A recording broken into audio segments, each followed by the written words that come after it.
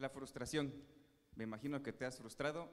¿Qué has hecho después de y de dónde vino? Ah. Pero suena muy pedante quizá, pero yo nunca he sentido frustración en el negocio de Amway. Y no lo digo para decir, oh, él es Superman. No, porque es que yo, ah, un, un jovencito en, en, el grupo Carlos Eduardo me preguntó qué día, eh, ¿qué es lo más difícil que has tenido? Y el reto más así que te haya puesto en jaque. Y yo, no, pues, ¿cuál reto? Es una fiesta esto.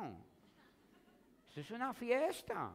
Yo llevo 12 años bailando, gozando, riéndome, viéndome, viendo cómo se mueren grupos. ¡Ah! Se murió.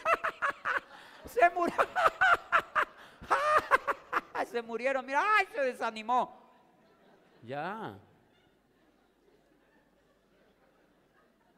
Porque yo aprendí una cosa y eso lo aprendí en el negocio y quizá antes del negocio. Realmente las dificultades no existen, lo que pasa es que uno las ve como dificultades.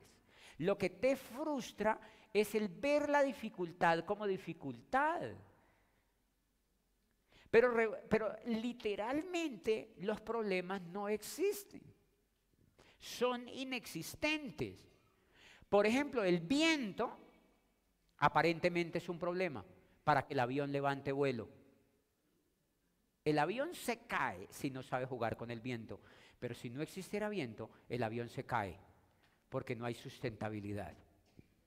Quiere decir que no existen problemas, sino que nosotros no sabemos leer el mundo. Nosotros no sabemos leer el mundo.